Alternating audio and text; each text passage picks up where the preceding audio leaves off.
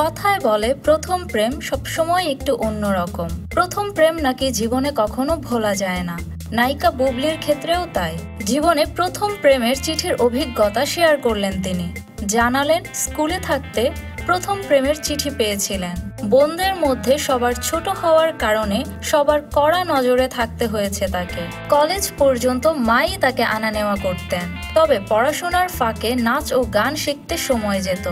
এর মধ্যে একদিন প্রেমের চিঠি পাওয়ার অভিজ্ঞতা হলো। এসএসসি পরীক্ষা দেওয়ার ঠিক আগে আগে একদিন সোমা ও বেলি নামে আমার দুই বান্ধবী এসে জানালো, আমাকে নাকি একটি ছেলে পছন্দ করে। আমি কোনো পাত্তাই দিলাম না। এর কয়েকদিন পর ওই বান্ধবীরা একটা চিঠি আমার হাতে ধরিয়ে দিয়ে বলল, সেই ছেলেটি তোকে দিয়েছে। খুলে দেখি, আমাকে নিয়ে লেখা একটা কবিতা। চুপচাপ রেখে দিলাম। টিফিনের পর নুরুজ্জামান স্যারের বাংলা ক্লাস শুরু হলো। স্যারকে চিঠির বিষয়টি জানাব ভাবছে।